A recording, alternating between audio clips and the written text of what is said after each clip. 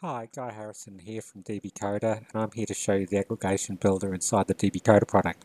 As you probably know, the aggregation framework is a very powerful part of MongoDB but it can be quite tedious to construct um, properly um, formatted aggregation pipelines, sort of brace matching, um, fiddly syntax. So we've built something we hope will make it a lot easier for you. So just to demonstrate this, I'm just going to build an aggregation pipeline and I'm going to try and do it in 60 seconds from um, a standing start. So let me start the clock now. And now I'm going to build an aggregation framework on this films collection.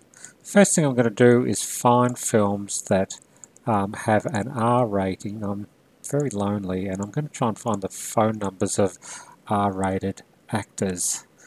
So I do that. Whoops, bit of syntax error there. I'm probably going to blow my timeline. There's the films that have R-rated actors in, or R-rated films. I'm going to have to unwind the actors array in there because there's more than one actor in each film, of course. And I'm going to group by the actor ID. Um, so I'm just trying to eliminate any duplicate actors at this point, actors that have been in more than one film. I'm going to join to the actors collection in which I'm hoping to find the actors' phone numbers. And we take the actor ID here, that matches the ID of the actors collection. We'll call that A. Now we have the actors, and just to make it easier, I'll just project out the phone number, which is what I was looking for. And I am almost done.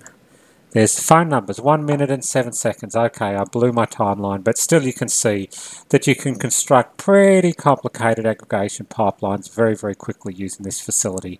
And we have, of course, all the um, all the pipeline um, operators um, it generates code that you can see here. So we're sort of like as it was going, you saw the code being generated. We can save that, we can modify it, we can do whatever we like with it. So if you're building aggregation pipelines, I strongly suggest you have a look at what we've built here. We put a lot of effort into making it very, very easy to use and very, very productive.